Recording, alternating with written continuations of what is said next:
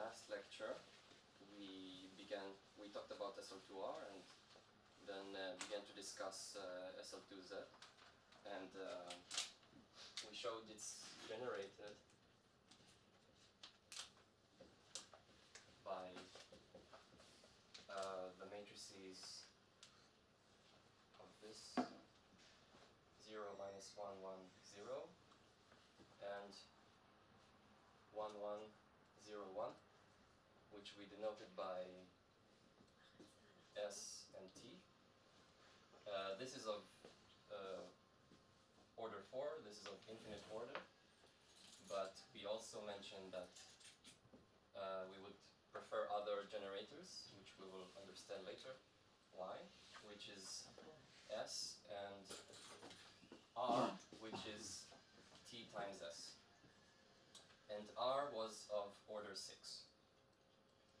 Um, now, the action by T is, uh, is basically on at least the hyperbolic plane, oh, the upper half plane, uh, corresponds to the function z goes to z plus 1. Uh, and the action by S is uh, z goes to minus 1 over z. Now, um, the, the proof for this relied on uh, the discussion that uh, D, our domain, uh, our fundamental domain, which uh, remind D was is a the proof relied that D is a fundamental domain for PSL2Z. Um, now, or rather, it's um, the reasoning inside the proof, which what I will discuss now. Um, and D was Z, all, all the Z's in the, the upper half plane, such that the absolute value is greater than 1. And the real part is between uh, um, minus half and half.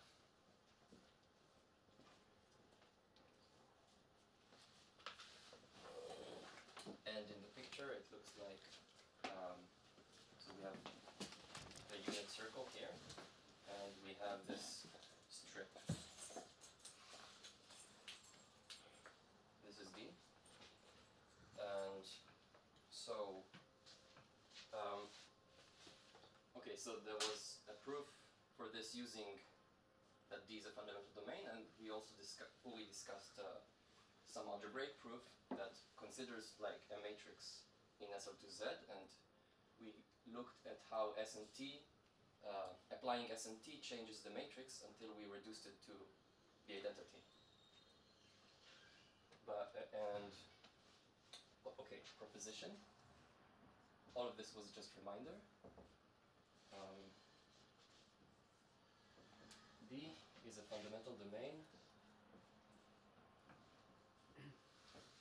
uh, for the action of PSL2Z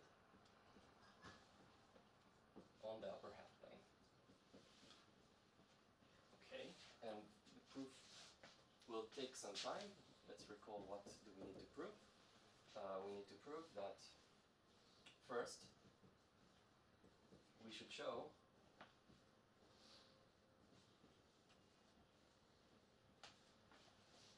that the upper half plane is the union of the translation by the by the action. So the union where G is in PSL2Z of GD. So basically, uh, it covers the the plane uh, by its uh, translations. Um, okay, so let's prove this property first. Okay, let Z in the upper half plane. A- and any questions so far? Okay. And recall that for any gamma in SL2Z, the, the imaginary part of gamma of Z is equal to the imaginary part of Z over CZ plus D. in absolute value squared, where gamma gamma is ABCD. And this equals where nz is x plus iy. This equals to imaginary part of z over cx plus d squared plus cy squared. And this uh, might, I would like to, to denote by, just for simplicity, t of cd, uh, uh, when x and y are fixed. Now, I want to show that there exists one that satisfies what, what we want, uh, such that gamma of z is uh, inside d, or z is equal is inside gamma inverse of d. Um, so let's pick uh, the one. Now, one moment. So, Hmm? if we are already writing image z, z is x plus iy, Yes. so so we can have like y over. Yeah, but So it will not be of interest. Um, we can. Okay. Um, now, since y, okay, I'll open a bubble.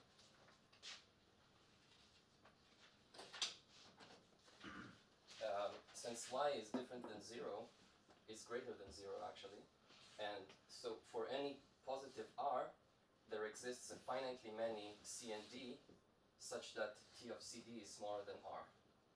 Why is that? There are finitely many options for, for C. There are, okay, so this is uh, bigger than cy squared. Now there are finite, y is fixed, there are finitely many options for C. And for each of those options, there are finitely options for uh, C and D together. So what I want to su- do is like pick um, sorry.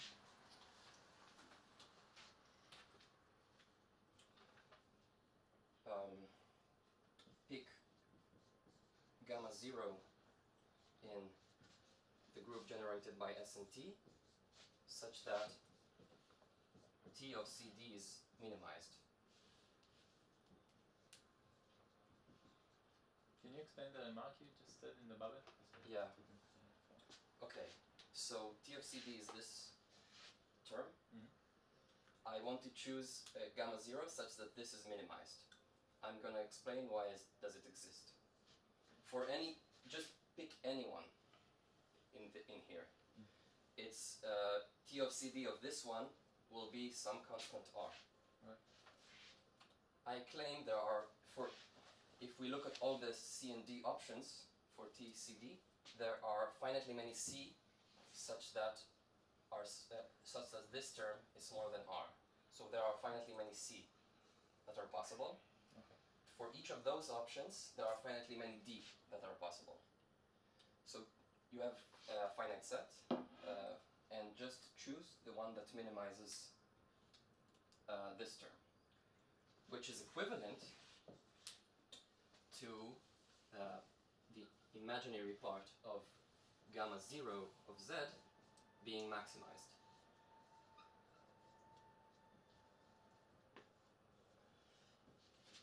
Any questions? Right.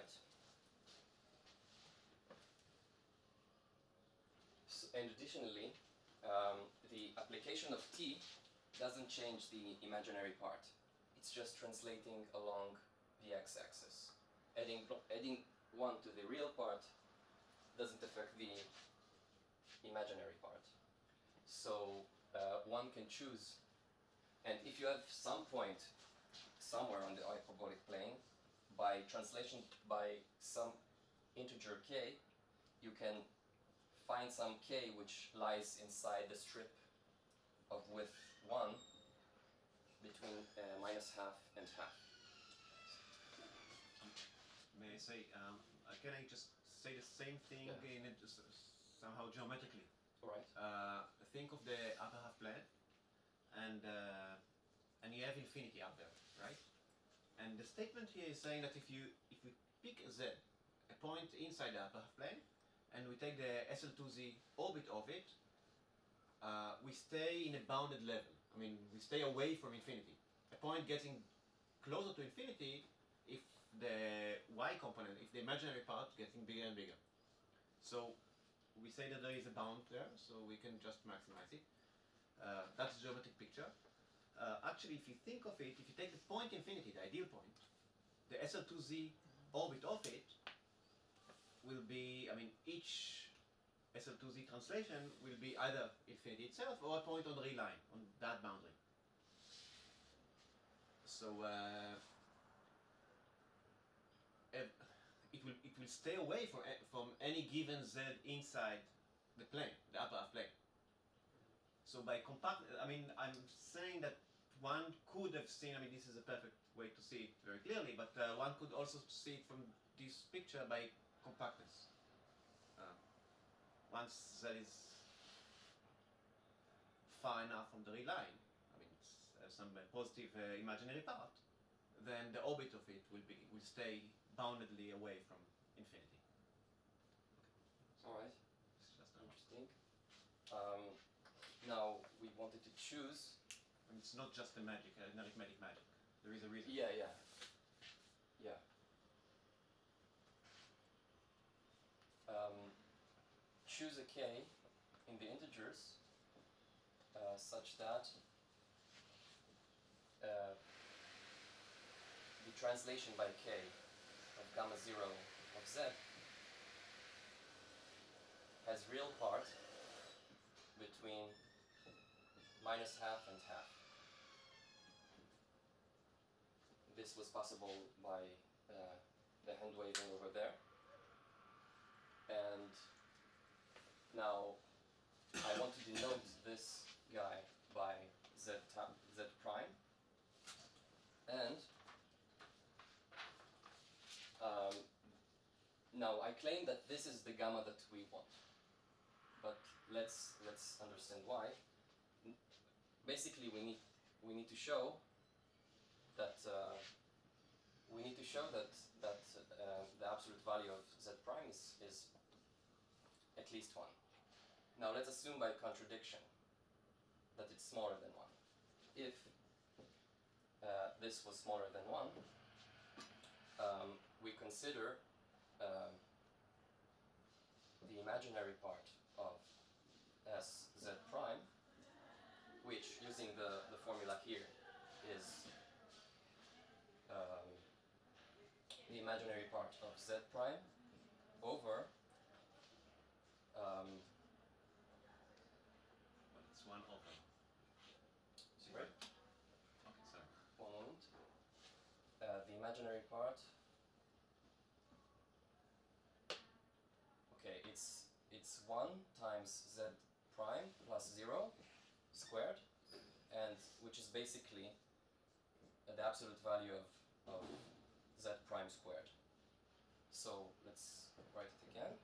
Imaginary part of z prime over z prime absolute value squared, which is considering the the assumption is strictly bigger than uh, the imaginary part of z prime, which contradicts our uh, previous assumption here. Translating doesn't change maximality, which is a contradiction. Any questions? All right. So um, we obtain that z prime, which is the translation by k of gamma 0 of z, has absolute value at least 1, and it's inside the strip of minus half half, so it belongs to uh, our fundamental domain. Well, soon to be fundamental domain. Um, so more formally, uh, we need to show that z is inside some g of d. So we have, if we mark this guy by g, then we have z belongs to g inverse of d. which ends the first the first part of the the proof of the now the second the second property of a fundamental domain that we need to show is that uh, the interiors of the translations uh, intersect uh, trivially. And let's see that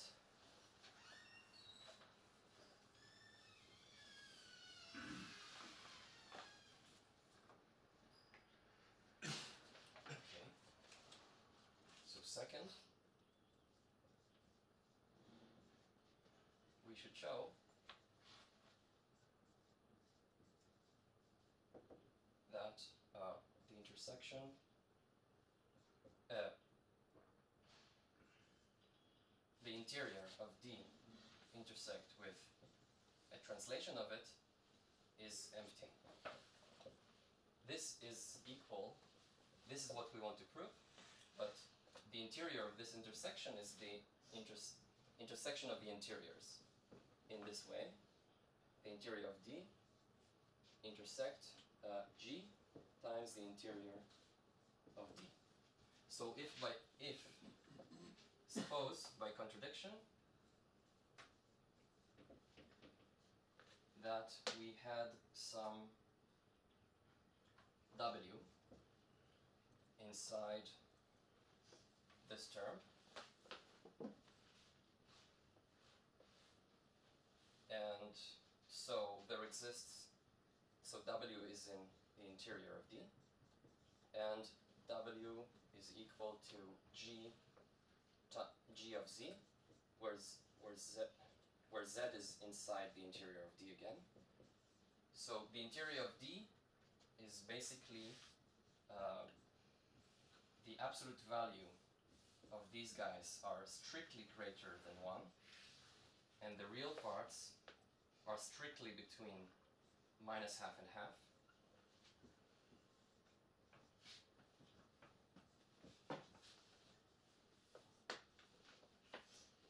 And I want to assume without loss of generality that the imaginary part of of W is at least imaginary part of Z. Otherwise, since uh, the pair uh, G, of Z and Z they play a symmetric role to to um, to W and G minus one of W. So we could continue the proof otherwise, just renoting everything. This is this assumption uh, clear? All right. Um, so, what is this guy on the left hand side? This is the imaginary part of Z. We're again using the same formula again and again. The imaginary part of Z over CZ plus D squared, where G is ABCD as usual. And now, since this is bigger than this, we can obtain by, uh, and this is non-zero because we live in the upper half plane, we can um, switch sides and obtain that CZ plus D squared is bounded by 1. Right.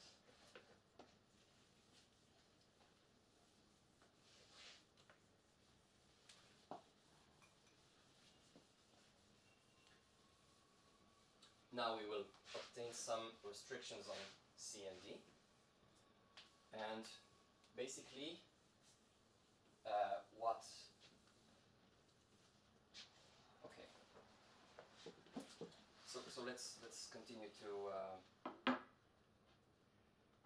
get these um, restrictions. So CZ plus D squared is um, CX plus D squared plus CY squared. which we know is bounded by 1. So, um, I'm sorry, one moment. Okay, but we know since y uh, is since z we know that x plus iy is inside our domain and by the previous uh, reasoning in the in previous lecture we said that y has to be of abs of uh, at least greater than square root of 3 over 2 this is because it belongs somewhere above this height. Um, so continue. This is greater than cy squared. Uh, we just omit this term, and then we obtain that c is bounded by absolute value by 1 over y. We just switch sides and take the square root, and this guy is positive, which is bounded by 2 over square root of 3 by, by this, which is strictly smaller than 2. So this leaves, because this guy is an integer, it leaves very little options. So either c is equal to plus minus 1, or it equals to 0.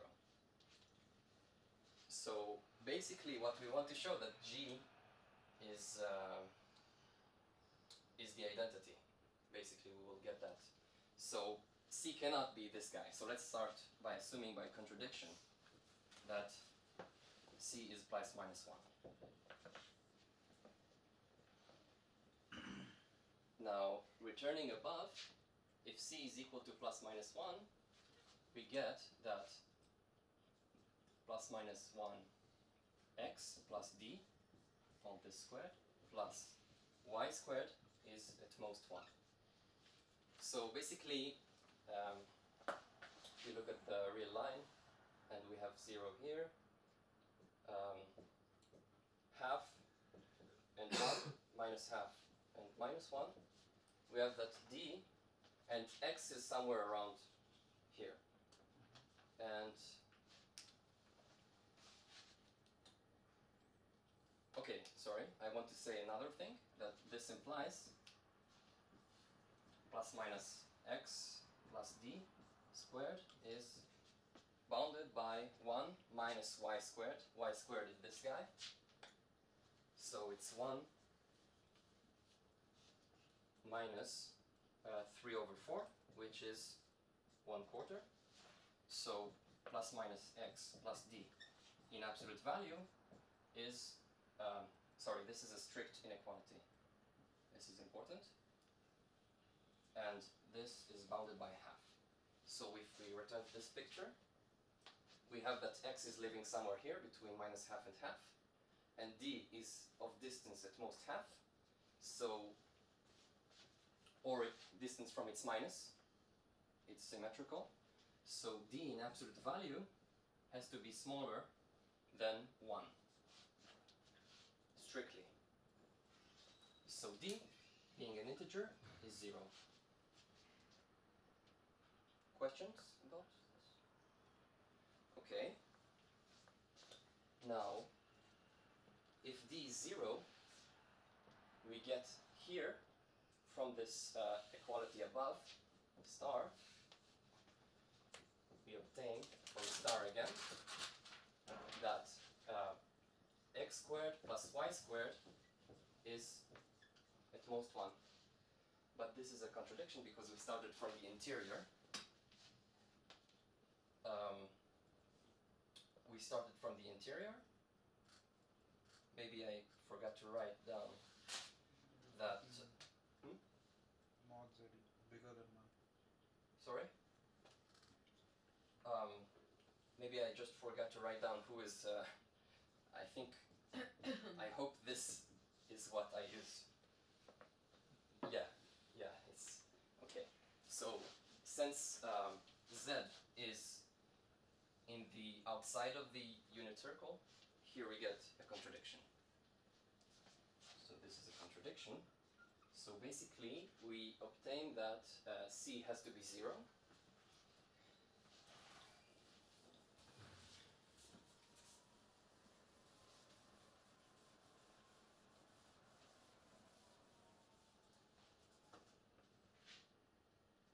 So C is zero. Let's return to G again. Now we have that G is ABCD and C is zero. So the product of AD is equal to 1. G is AB 0D and it lives in, in SL2Z or PSL2Z. So AD is equal to 1 and A is equal to D is equal to plus minus 1. So we have so we have that G is plus minus 1, B 0 plus minus 1. And if you recall, it moves z- to the inside to W, which are both on the inside of D, on the interior of D. So, and then this guy is a translation by B. So B, translation. This guy is a translation. by B, and G of Z is equal to W, and both of these guys are in D, so B, B has to be zero. In Indy. Hmm? In Indy. Yes. So B has to be zero. Yeah, because if they were in the boundary, it could still be. Uh, I removed the picture, but if we were in the boundary here, it could still be moved by one to get this guy here. So we did use that it's it lives in the interior. So B is equal to zero, and G is equal to plus minus I.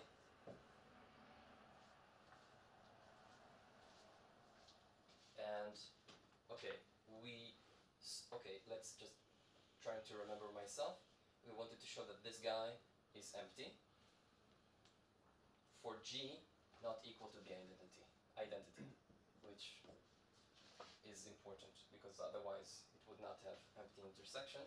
So if we suppose by contradiction that this guy is non-empty for G non not the identity, we obtain by contradiction that G is plus minus I, so G is the identity in PSL2Z. Sorry if I missed the explicit uh, reasoning before. Are there okay? So so here we we we finished the proof that uh, D is a fundamental domain of PSL2Z acting on the upper half plane. Any questions? So maybe I'll just say a remark because this is this is a familiar picture. Uh, we call such a thing a tessellation. Yeah. Uh, I actually want to Are say you- you- something. Yeah, okay. I want to draw a picture. Excellent. All right. So, Yeah. but just uh, I'll, I'll give it to Yeah. translation if you don't know it. ריצוף uh, בעברית, ולכל uh, דומיין קוראים אריח. Uh, ריצוף על ידי אריחים. And so we all know tessellations of the Euclidean plane, by squares, by triangles, etc. This is a, a special tessellation of the hyperbolic plane. Yeah, and I want to show that how it looks like. Um, now, let's let's draw uh, the upper half plane really big, uh, and we have here the unit circle, and D is this strip over here. Um, this is minus half half. Now let's consider uh, what happens. Here is zero.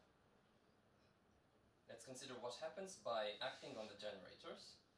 Um, so we can, okay, uh, we can consider that D is actually the translation of itself by the identity matrix, and translating the picture by one, which is the generator T, we obtain. Is bad. The translation by t is this guy over here. Um, we can do it again with t inverse. Possibly horrible drawing. And uh, we can continue at least the, the tessellation, sorry, the, the translation of this of this area by.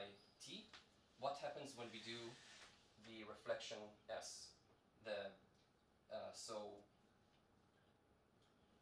z goes to uh, minus one over z. Um, the image of, of, of d by s is located here, and its translation again are over here. This continues. So this is s, t of s, t squared s, and so on.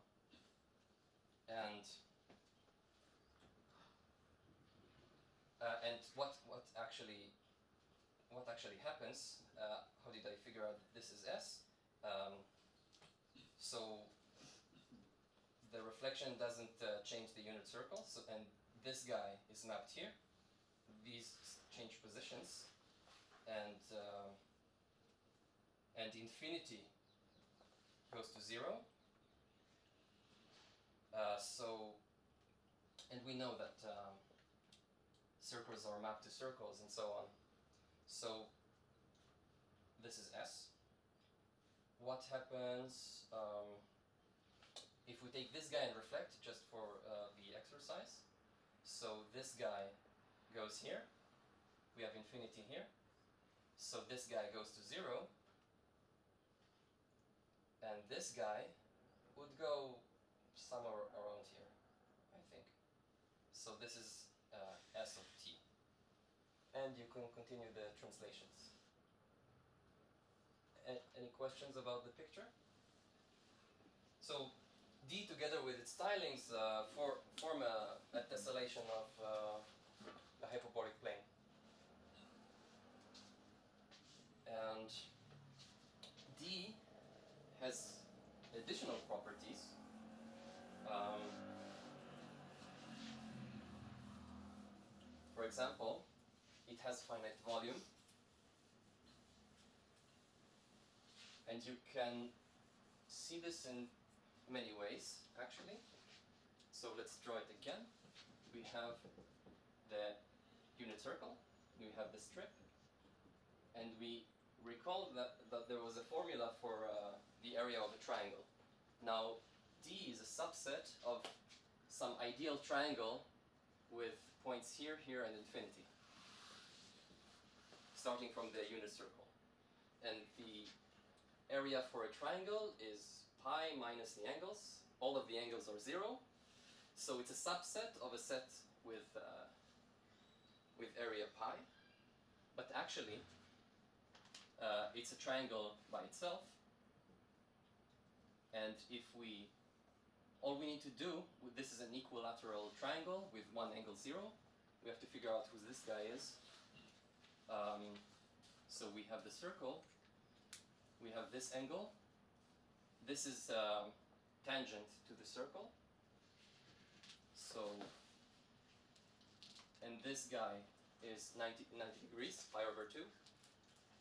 So if we mark this as alpha, this is pi half minus alpha, and this guy is alpha again. and we remember remember that um, the length of this side is uh, the square root of 3 over 2. I wrote a bit uh, too small. and um, Well, you know the other side is one half. Hmm? Yeah, yeah, and this is one half, and this is one, and basically we can calculate uh, alpha.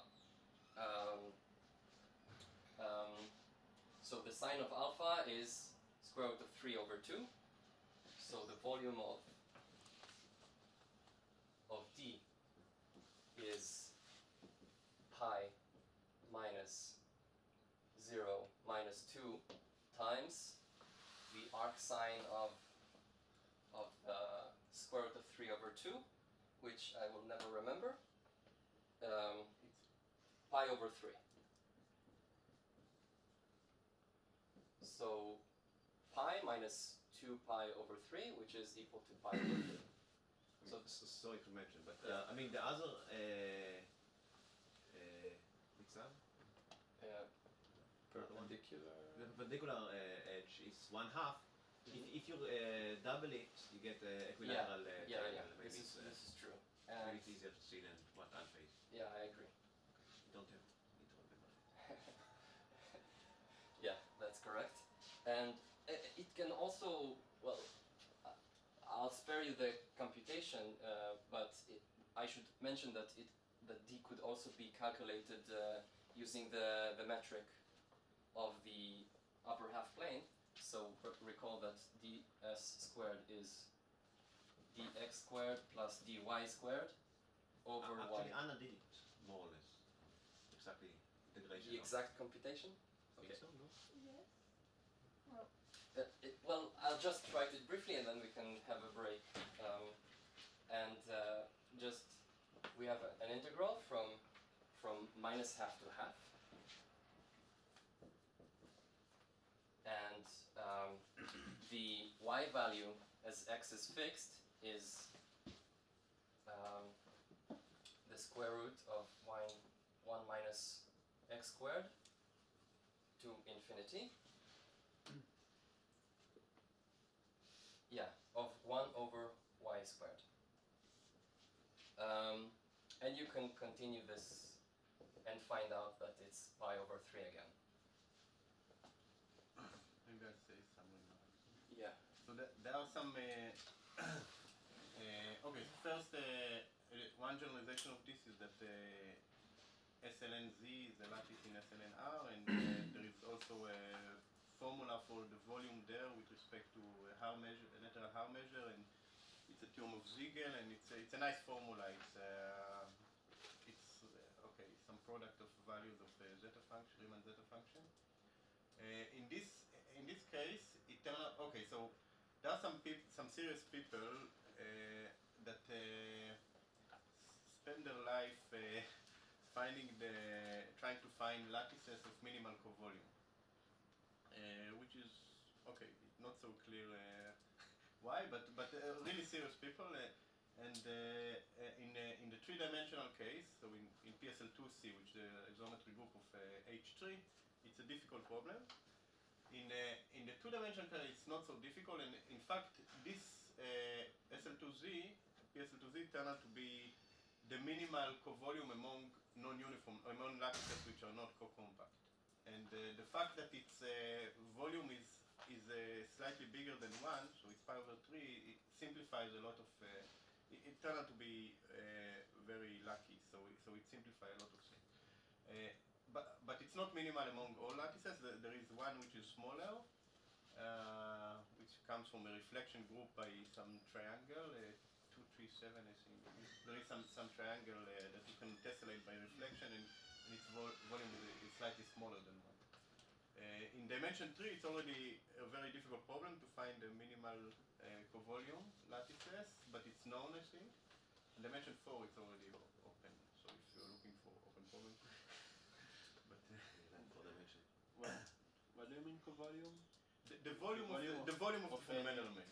The volume of the fundamental domain, you, you can think of it as the co-volume of the lattice. Of the group there. Gamma is a subgroup of uh, of PSL2 of PSL2R. You can, there is a Haar measure of PSL2R. You can normalize the Haar measure that it exactly corresponds to the Riemannian measure of the hyperbolic plane in a proper sense. And uh, so so a PSL2R you can think of it as the a fibration of the fibration of the hyperbolic plane, such as on above on each point of the hyperbolic plane there is a compact group, which is the stabilizer. It's like SO2. Yep. And and that, from this you can uh, actually re- re- reconstruct the, the Haar measure of SL2R. Uh, by the way, you can also think of uh, SL2R as the unit tangent bundle of, uh, of, of the hyperbolic plane. Because if you if you just take a point in a hyperbolic plane, then uh, SL2R SL2R trivial, uh, acts, but are stabilizer. If you take a point in a direction, then SL2R acts simply transitively. So it, it, it, once you take the point to some point and the direction to a, a given direction, there is only one element that do that. And to see that, let's look at the stabilizer of the point. It rotates the direction around, but uh, if you fix the point and the uh, direction, then it's a trivial element.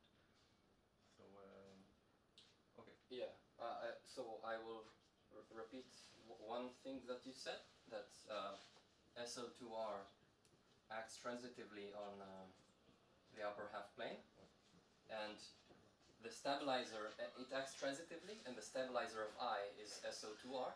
So we have some identification SL2R mod SO2R, which is the stabilizer of I, by the orbit stabilizer theorem with the hyperbolic plane.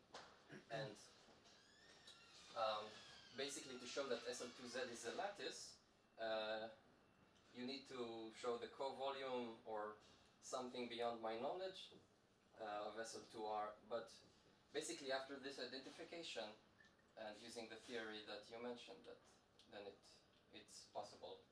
Um, so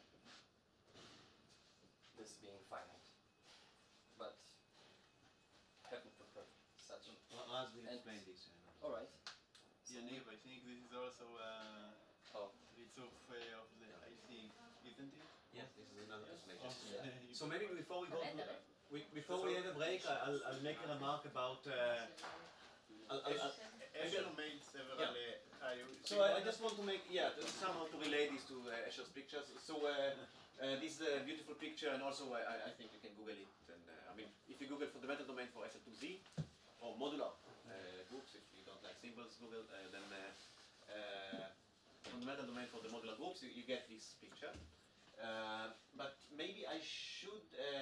Just before we take a break, I should explain how this picture looks like in our conjugated world of the Poincaré disk instead of the upper half plane. And somehow there is a, in some sense, maybe let me start with another tessellation, which is uh, very, which is actually easier to imagine, which is called the Farey tessellation, or the Farey lattice. Uh, maybe I mean this is this is supposed to be the Poincaré disk, and remember uh, now look at uh, points on the boundary, and remember that uh, SL2R the group of isometries of these, or whatever conjugate group acting on here.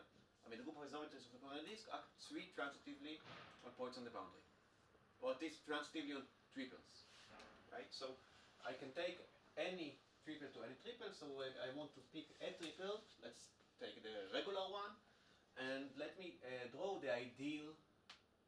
Uh, triangle associated with this. Regular I meant just uh, take the every third uh, length of the uh, circumference, and and now uh, take a point in the middle of this arc, and take the ideal triangle generated by this triple, and do the same for the other arc, and for the other, and now you get six more arcs.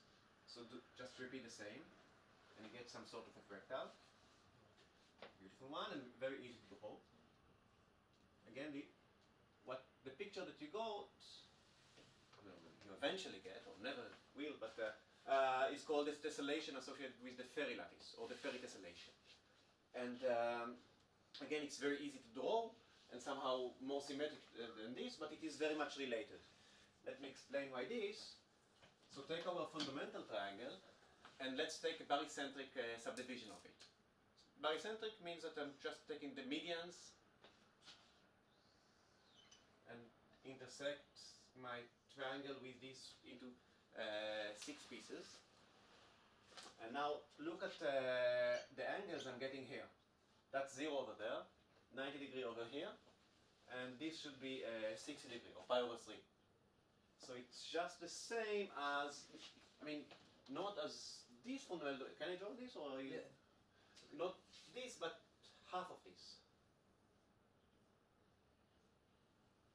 Uh, it's each of these is half of that. So two of these, or maybe let's take its twin over here. Let's do the same barycentric subdivision to this guy. I claim that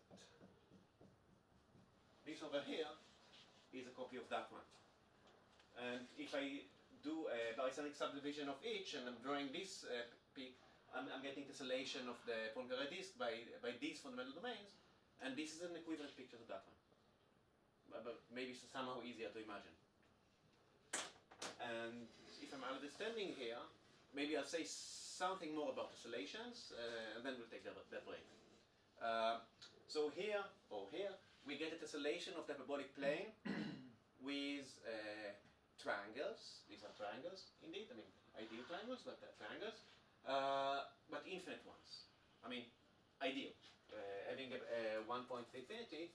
Um, if we already round it, so maybe uh, we should ask ourselves, can we have a tessellation of the hyperbolic plane, which is more similar to the uh, that square tessellation of the board. I mean, familiar tessellations of the Euclidean plane. And there is a very nice way to do this. And uh, did, did anyone, I mean, did anyone not see this? Otherwise, I'm wasting time. Okay. Um, so let's take not a pentagon or something, an, or a hexagon or something. Hexagon can tessellate the Euclidean plane. Let's take uh, septagons. Uh, one, two, three, four, five, six, seven. Uh, and let's look at this ideal geodesic septagon. uh, the angles here are all zero. And uh, let's, I, I did everything symmetric, so I can connect everything symmetrically to the origin. Forget for a minute, uh, no, don't forget. Uh, so uh, now I can take uh, symmetrically seven points here and try to draw similar pentagon. The edges will be almost Euclidean. Maybe I should have taken smaller. Uh, the edges will be uh, eventually Euclidean, so the angles that I will get will uh, uh, be what, what is the Euclidean? Uh, Not eventually, asymptotically. Asymptotically, yes. Asymptotically, the Euclidean will get uh, to be the Euclidean uh, uh, angles, uh, which are Bigger than.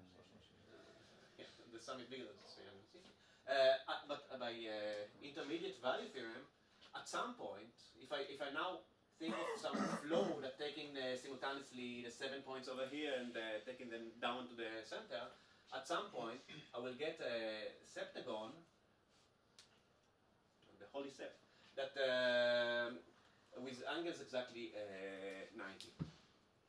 And when you do this, now uh, each of these arcs now are uh, pieces of geodesic arcs. So I can, uh, whenever you have a geodesic arc, you can uh, reflect the plane uh, around it, right? Maybe uh, it's easier if the if that was the mode. I mean, maybe it's easier if uh, this would be my arc. This would be my geodesic. Then it's it's clear that I can reflect. But all geodesics are kind of kind of conjugate to each other because I'm acting to Just transitively. the reflection itself is not in PSL2Z, but uh, 2SL2R, but uh, Uh, yes, it, it is Like- an isometry. Um, yeah, PSL2R is an index 2 subgroup of the full isometry group. Right? I mean, the, it's we actually want to look at the action of GL2 or groups with a determinant plus or minus 1 uh, is the full isometry group of, uh, uh, of, of the plane. And now uh, I don't care about SL2R anymore. I'm, I'm caring about actual isometries. In any case, I can reflect. And when I reflect, uh, this picture will uh, be reflected into another, uh, which I'm not sure I can draw. Uh,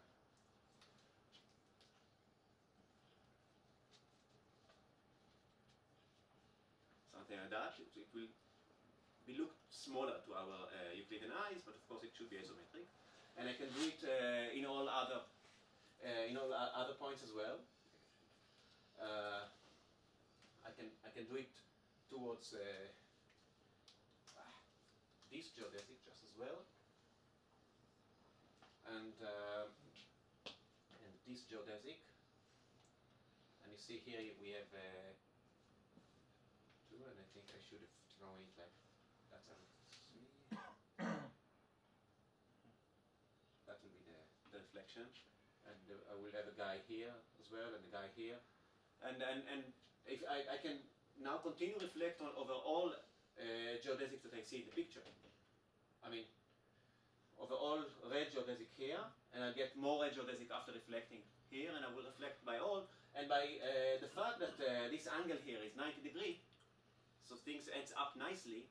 Eventually, I will get a tessellation of the plane, but of the body plane, by uh, copies, isometric copies of this fundamental uh, septagon, and. um I could have done it not with sept- uh, septagon, but with uh, octagon or whatever, and. Uh, do it with septagon, but with not with 90. Not I with could 90 take a not but, uh, 90 degree, but anything which is a rational, uh, which, which divides well uh, to pi. Uh, so things will add up after I'm doing a bunch of uh, reflections and will not mess with, it, with each other. I mean, there is a theorem about it called Poincaré uh, polygon theorem or something. And um, in any case, one gets very nice uh, tessellations of the uh, Poincaré disk, and many of those are familiar uh, to us uh, by the work of uh, MC Escher. I mean, we use this. I think it was a good friend with Coxeter, who was a mathematician studying tessellations, and I'm not sure uh, who did the work first and uh, who deserved the credit, uh, but uh, certainly they have. Uh, I mean, Escher has very nice works. Okay, let's take a break. There's some hyperbolic geometry in nature. This looks like a spider web. Yeah. Oh, There are it's analogous spider. picture in three dimensions. Uh, if you see, if you,